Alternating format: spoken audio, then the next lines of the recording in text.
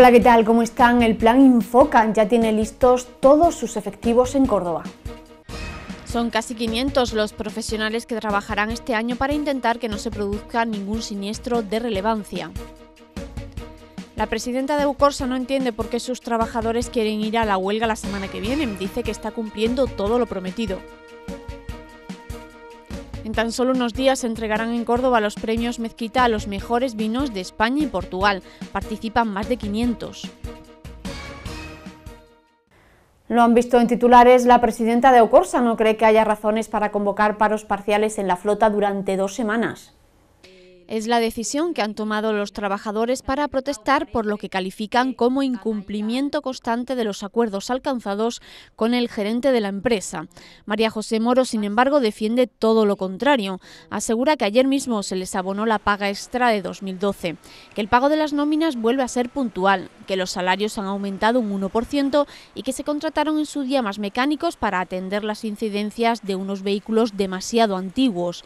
En cuanto al plan de seguridad, que es el principal motivo de disputa, ha recordado que desde el 20 de mayo hay 12 autobuses con cámaras y que poco a poco se instalarán en toda la flota. Decir que en este contexto, y como es cuestión de, de actualidad lo diremos, pues desde la dirección de la empresa no acabamos de entender los motivos que justifican la convocatoria de los paros y que pedimos al comité que se replantee esta convocatoria en lo que va de aquí, de aquí al lunes.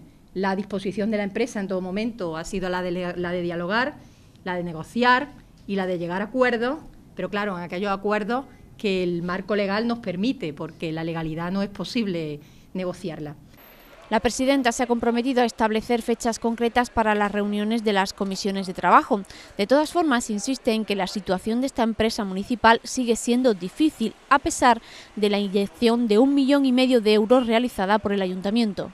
Pues la situación de la empresa sigue siendo difícil, sigue siendo difícil, seguimos teniendo ahí una deuda acumulada con proveedores que, que no, no, no, no nos permite tirar las campanas al vuelo, ni mucho menos. Y además eh, nosotros también es una, una, tónica que hemos mantenido por parte sobre todo de quien nos habla y es eh, no entrar en, y no meter a la empresa en ningún tipo de polémica eh, ni de actuaciones del pasado ni de, ni de incidentes concretos que pudieran dañar en ningún momento la marca de la empresa, considerando que los cordobeses tienen que tener claro que Aucorsa es una oportunidad, no es un problema, Moros ha pedido por último a los trabajadores que cumplan los servicios mínimos del 25%. Los paros serán los lunes, miércoles y viernes de las dos próximas semanas, entre las 6 y las 9 de la mañana. Seguimos. 17 millones de euros. Este es el presupuesto con el que cuenta el Plan Infoca este año para prevenir y extinguir incendios en Córdoba. Desde la Consejería insisten en que esta provincia es una de las que cuenta con más medios para estas labores, pero aún así, en casos extremos, puede recurrir a dispositivos de otras zonas de la región. 470 profesionales de la Consejería de Medio Ambiente componen el dispositivo provincial para prevenir y luchar contra los incendios en Córdoba este verano. El plan Infoca cuenta en esta provincia con cuatro centros operativos, el de los Villares y los centros de defensa forestal de Adamud, Villaviciosa y Carcabuey. En cuanto a los medios materiales para la extinción, hay disponibles una unidad móvil de meteorología y transmisiones, ocho vehículos pesados, siete autobombas y una nodriza, dos aviones de carga en tierra y cuatro helicópteros. A todo esto hay que añadir 30 torretas de vigilancia. Decir también que con independencia de los medios que ha comentado el gobierno que tenemos en la provincia de Córdoba, que somos una de las provincias mejor dotadas en cuanto a medios, incidir que el dispositivo Infoca es un dispositivo regionalizado. Es decir, todos los medios que hay en toda la región están a disposición de la provincia o del lugar donde se produzca un incendio. En caso de necesidad, acudirían medios de otras provincias si los necesitáramos, el presupuesto del Plan Infoca 2016 asciende a 17 millones de los que la mitad se destinan a labores de extinción y la otra mitad a trabajos de prevención. De hecho, ya se ha trabajado en más de 47.000 hectáreas de superficie forestal. Se han habilitado 1.200 hectáreas de cortafuegos manuales y otras 800 de cortafuegos mecanizados. Se han arreglado también 40 kilómetros de caminos forestales para facilitar el desplazamiento de los vehículos forestales y se ha utilizado el pastoreo controlado de ganado para crear otros 16 kilómetros de cortafuegos Pero nada de esto valdrá si los ciudadanos no atienden las recomendaciones y colaboran con las autoridades.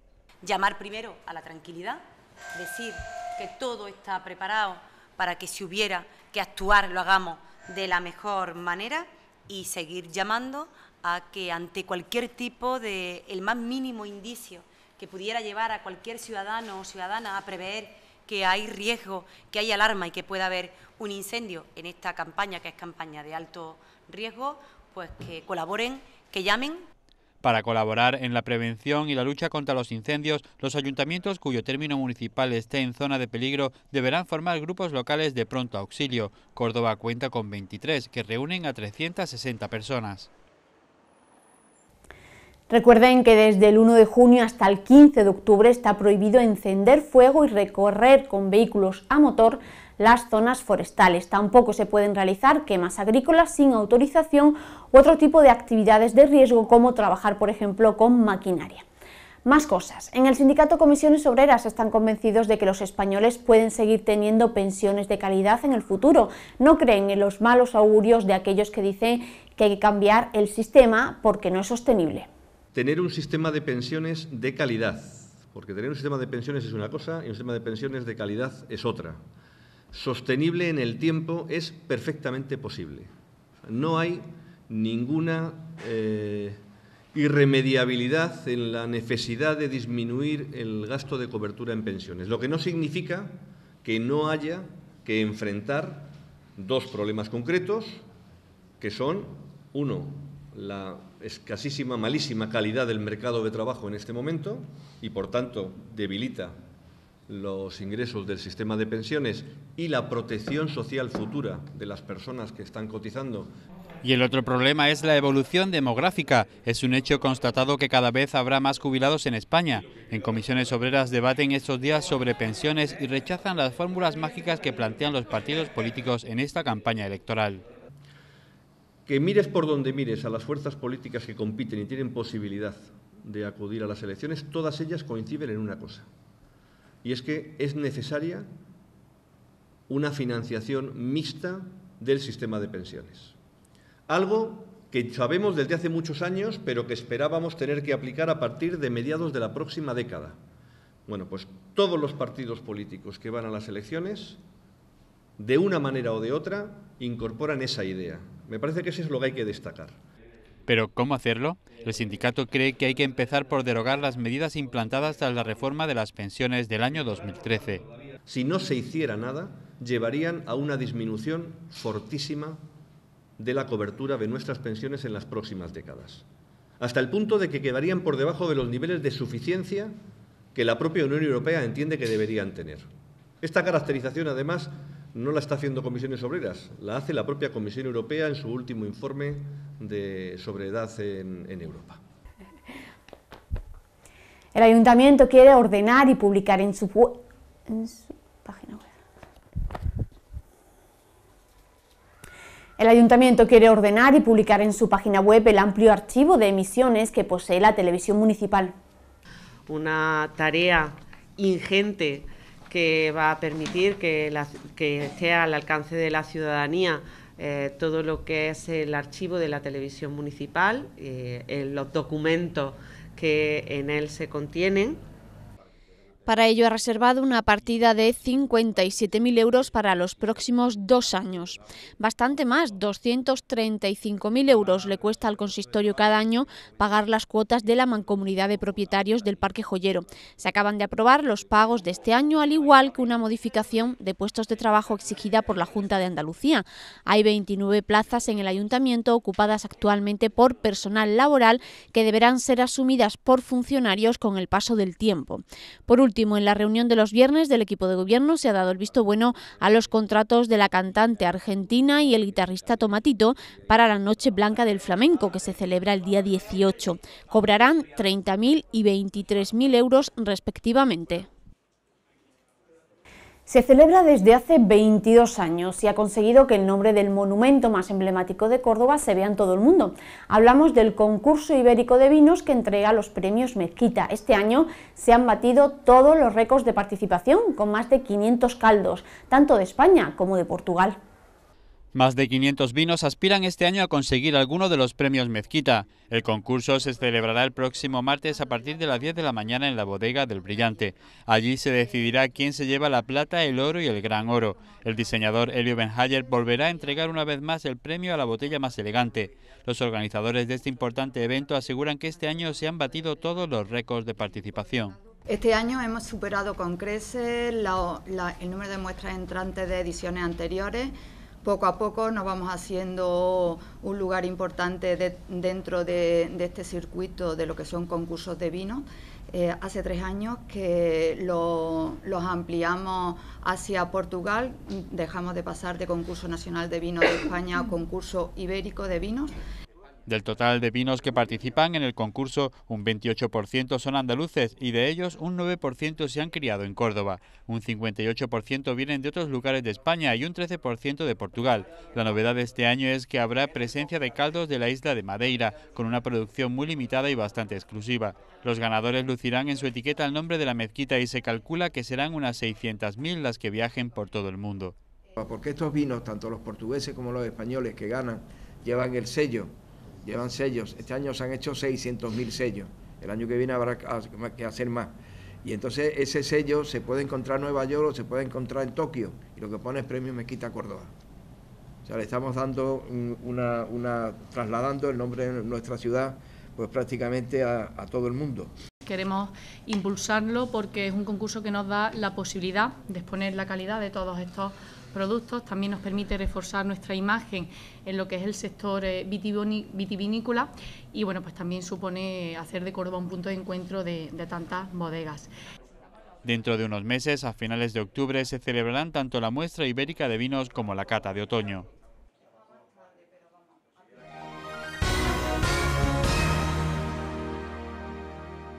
Somos pueblo, somos cultura. Así han llamado en la Diputación a la nueva convocatoria de subvenciones que acaban de publicar.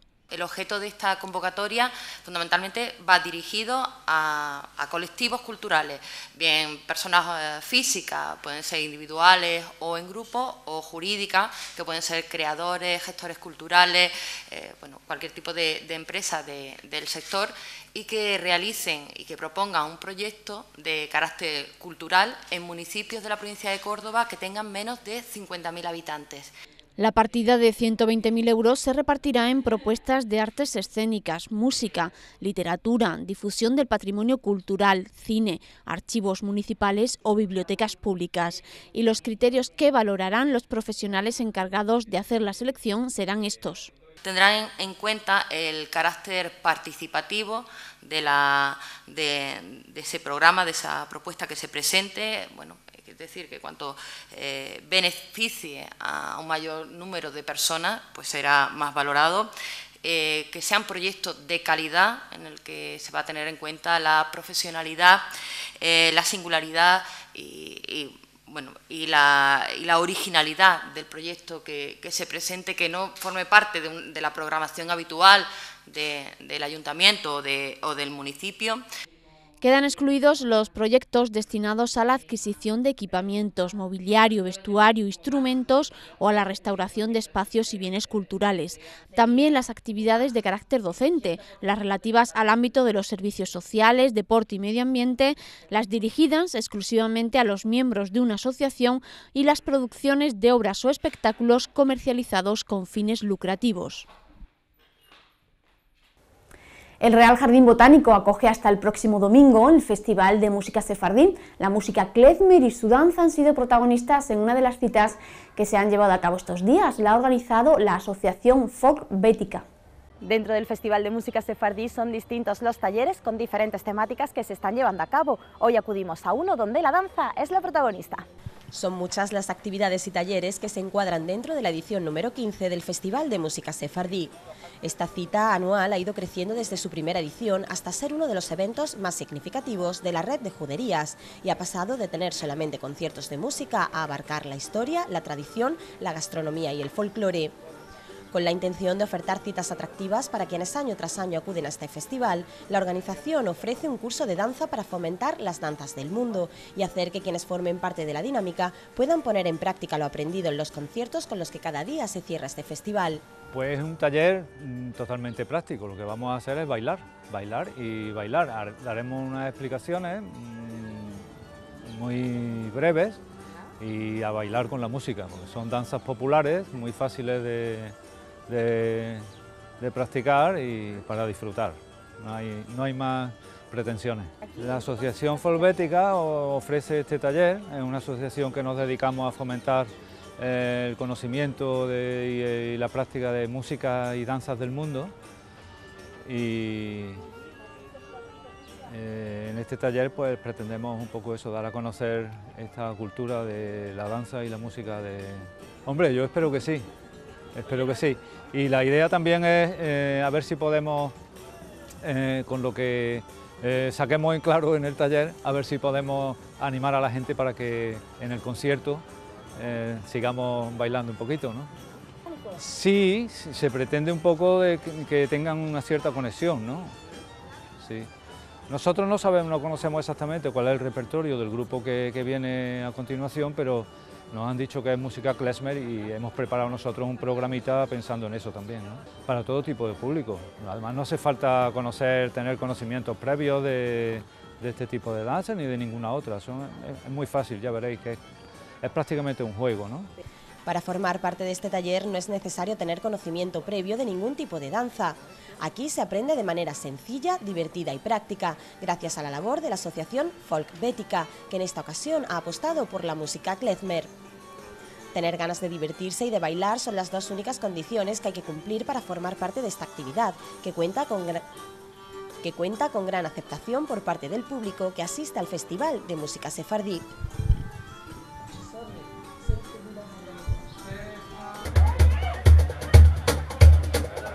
Del 16 al 18 de junio tienes una cita con la música de nuestra tierra, la Noche Blanca del Flamenco, homenaje a Andalucía. El sábado 18 de junio, Córdoba se llena de escenarios y grandes artistas. Argentina, La Lupi, Pastora Galván, Tomatito, José Antonio Rodríguez, Marina Heredia, Juan Valderrama, Escuela Yo Canto y David Palomar con Ultra High Flamenco. Y los días 16 y 17 de junio disfrutaremos en los barrios de artistas locales con Flamenco en Red La Víspera. Más info en la nocheblancadelflamenco.córdoba.es. Ayuntamiento de Córdoba. Los deportes nos dejaron ayer la primera victoria del Córdoba en su playoff de ascenso a Primera División. Ganó 2-1 al Girona.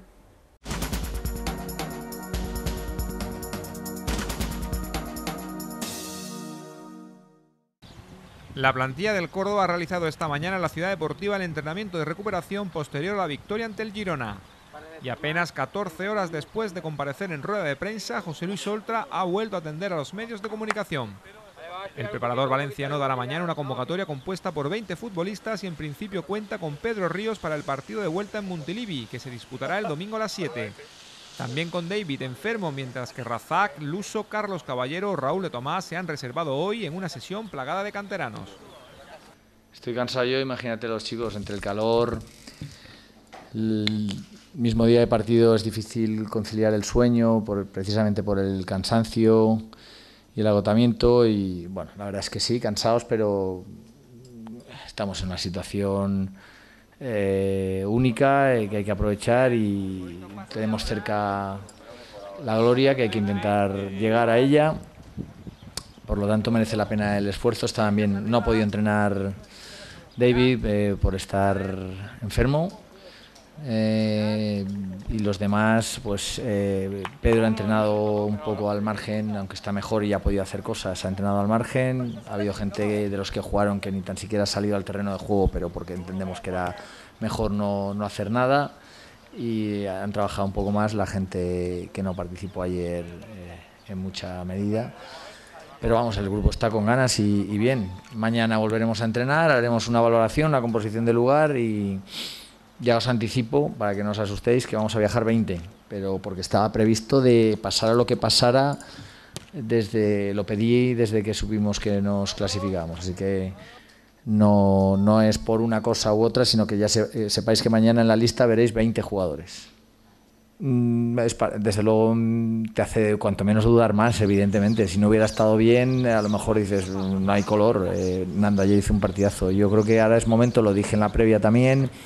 Pues mira, eh, la gente valorará poco, pero para mí los cinco minutos de, de José de López Silva son fabulosos. Salir después de tanto tiempo y salir enchufado, salir metido, pegarte tres carreras para atrás, con lo difícil que es salir en esos minutos. Y esos cinco minutos te pueden dar la clasificación, el domingo incluso, o ayer, el poder aguantar, el poder eh, ayudar al compañero. Eh, como digo, ahora hay gente que está participando, que ha participado menos y que ahora tiene una mayor relevancia, ya no tanto en el tiempo que puedan participar, sino en que puedan participar. Bueno, vamos a ver primero cómo está Pedro. Yo hoy no he entrenado con el grupo porque necesita un, poquito de adaptación, no está todavía del 100%. Y repito, tenemos el día de mañana para valorar situaciones. Y es cierto que, Nando jugó a muy buen nivel, que eso siempre pues, es importante a la hora de, valorar todo lo que, lo que venga. Intentaremos tomar la, mejor decisión para, para el equipo. Nunca sabes. Yo el equipo lo veo bien, vamos a ver, porque en una hipotética eh, prórroga, pues también se jugarían muchos aspectos emocionales, porque ahí, eh, si llegamos a ese resultado en la prórroga, tendríamos que hacer gol nosotros. Eh, por lo tanto, el sobreesfuerzo mayor sería para nosotros y, bueno, lo afrontaríamos y espero que, que, no se llegue y que no se llegue porque es un resultado favorable para nosotros, no para, para el rival, como es lógico. No, no, no no sé cómo, cómo, qué podría pasar. No, la verdad es que no lo tengo claro. Sí tengo confianza en que el equipo está bien y que si llega la prórroga va a aguantar bien. Pero luego hay que verlo allí, vamos a ver qué temperatura, vamos a ver cómo se ha dado el partido, vamos a ver qué circunstancias, en qué circunstancias llegas a esa hipotética prórroga, no lo sé. La expedición blanquiverde partirá mañana hacia tierras catalanas con una duda si el rival del Córdoba o el Girona en la final de la promoción será Osasuna o el Nastic, que mañana a las 7 se medirán en el nuevo estadio con el 3-1 del Sadar como referencia. En el caso de que el equipo de Enrique Martín fuera el adversario en los dos encuentros definitivos, el plan es prolongar el viaje hasta Navarra, ya que el primer choque sería el miércoles a las 8 en Pamplona y la vuelta el sábado a las 7 en el Arcángel. Si pasa el Nastic, tercer clasificado en la liga, el ascenso se decidirá en Tarragona con los mismos horarios. Sí, yo creo que volvemos a la, previa del partido de, Girona en la ida, donde dije el equipo que más se parezca a su mejor versión, a su máximo de potencial, el equipo que más crea, que mejor maneje todos los aspectos, estos tú dices tensión, eh, podríamos llamar eh, emocionales eh, psicológicos. pues probablemente se lo lleve el que menos errores cometa, el que más acertado esté, el que más pegada tenga en las áreas, el que eh, bueno, pues al final son muchos aspectos los que influyen y no sabemos cuál es el que va a ser determinante el domingo, pero sí, evidentemente, eh, todo esto es importante. Nosotros tenemos un equipo con, experiencia y, bueno, pues vamos a intentar eh, hacerla valer en el terreno de juego porque es importante el domingo, pues manejar los tiempos del, del, partido, como digo, no salir, salir sabiendo que te vale el empate, pero no salir a por el empate, que es lo el matiz que yo quiero darle. Hay que ser inteligentes y, llevarlo al terreno de juego, leer el partido, salir como salimos ayer, con fuerza, intentar ganar y saber que delante tenemos un equipo que te puede poner contra las cuerdas rápido, porque es un equipo muy, muy bueno, que creo que me ha parecido leer en algún sitio que, que en los últimos 14 solo ha perdido dos partidos, ¿no? ¿Tres?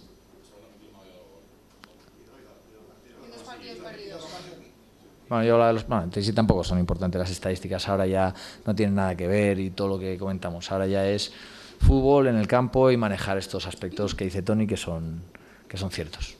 Sí, hombre, eh, luego hay que jugar, es que todas las estadísticas, como dice el dicho, en el buen sentido yo prefiero escuchar esto, Rafa lo digo siempre, me agrada escucharlo, creo que son motivos que te dan eh, tener más confianza, más seguridad. Eh, pero luego las estadísticas están me, parece que el Girona me parece no el Girona es el equipo menos goleado y como decía David nadie le ha hecho dos goles o no sé cuánto tal y, en cambio nosotros lo hicimos en 12 minutos. Es fútbol. Y son momentos en los que influyen muchas cosas bueno, pues eh, nosotros vamos a hacer buenas las estadísticas y, más que las estadísticas, hacer bueno en el terreno de juego, pues una buena lectura del juego. Ayer yo creo que interpretamos bien el partido. Mm, por fases nos dominaron, pero el mayor peligro de ellos eh, fue a balón parado. Es cierto que la sensación que te da que cuando te dominan o cuando hay muchos balones al área, cuando estás en situaciones de uno contra uno en el área, porque ellos juegan con dos puntas, con los dos centrales, tienen mucha gente que te... Pues la sensación es que pueden pasar cosas, pero ocasiones claras eh, casi todas fueron en acciones a balón parado, no fueron tanto en, en juego, eh, aunque te dominaran. También es verdad que nosotros tampoco generamos muchas ocasiones. Bueno, pues es que te digo que el partido no sabemos por dónde por dónde va a ir y qué, van a proponer ellos de inicio, si van a salir a tumba abierta por el gol o van a decir que vayan pasando que tenemos 90 minutos para hacer un gol y mientras lo tengamos abierto tendremos opciones no lo sé, lo que van a plantear ellos, nosotros es centrarnos en nuestro trabajo, hacerlo bien, eh, tener claro, que creo que tenemos claro qué es lo que queremos, qué es lo que tenemos que hacer, volver a interpretarlo bien, no cometer errores y ser además un equipo ambicioso y muy inteligente. Esa es yo creo que la clave. Bueno, probablemente casualidades no, pero yo creo que, que realmente es como no es casualidad que el Girona se haya metido en playoff siendo el mejor equipo de la segunda vuelta, o no es casualidad que haya sido el equipo menos goleado de la categoría. habla de, muchas cosas que se han dado para que eso sea así. Y en cambio, pues eh, ayer eh, rompimos esa estadística. Esto es otra estadística que se puede romper el domingo en el peor momento y que no hay que mencionarlo, no hay que pensarlo, hay que pensar en positivo bueno, pues eh, es bueno, es bueno que esta estadística sea así, eh, pero realmente yo lo que no creo es que, sea definitivo y lo que no creo es que cuando empiece el partido el Girona tenga una psicosis porque juega con el Córdoba, que le hemos ganado tres veces este año, o nosotros digamos, a este equipo, como le hemos ganado tres veces, le vamos a ganar hoy también. No creo que nadie cuando empiece el partido piense en eso, que durante el periodo de pensamientos, pues eh, que yo siempre les digo, hay momentos de fe, momentos de duda, y siempre les digo que vuestra fe pueda con vuestra duda, es la frase que les digo antes de los partidos, pues esto te ayuda a tener más fe que duda, seguro, pero que no es definitivo, pues también te digo que no que no se va a acordar nadie, igual que nosotros no nos acordaremos de su estadística, de su trayectoria, de la segunda vuelta, de todos estos aspectos. Pues eh, la veo también abierta, un poquito más a favor, más decantada para los Asuna, porque pero el, el, Nastic tiene mucho potencial, tiene mucha pegada. Nosotros, a nosotros nos hizo cuatro goles allí, por lo tanto tiene capacidad para, para hacer dos goles. Osasuna es un equipo en su campo muy, muy intenso. Eh, también tuvo un inicio muy, muy fuerte, dos segundas acciones a balón parado, pero es un equipo, los dos equipos son, son buenos. Ahora todos los equipos está todo muy igualado. Y en Liga está muy igualado, imagínate con todo esto que nos estamos jugando, pues yo creo que se suele igualar más. Yo de hecho no esperaba partidos tan abiertos, ni el del Osasuna Nasti ni el nuestro con el, con el Girona. Puede pasar absolutamente de todo y nosotros lo que buscamos es lo nuestro y luego ya valoraremos si es Pamplona, si es Tarragona o lo que tenga que venir. Primero que sea, que sea Córdoba, que es lo que realmente importa, y lo otro pues no, no tengo preferencias ni, ni, ni, me atrevería a mojarme todavía por ninguno de los dos, aunque creo que lleva una ligera ventaja Osasuna que, que tiene que hacer valer también.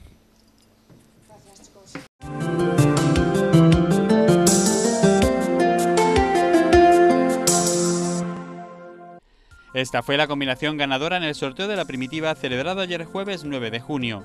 2, 9, 10, 14, 25, 41. Número complementario 3, reintegro 4. Y el número premiado en el sorteo de la 11 fue el 53.808. 53808.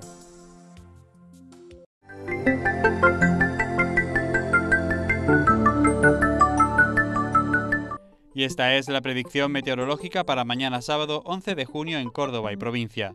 Habrá cielos con intervalos de nubes medias y altas quedando por la mañana despejado, las temperaturas con pocos cambios rondando una máxima de 35 grados y una mínima de 19.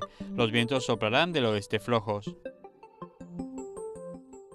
Veamos ahora qué nos depara nuestra agenda.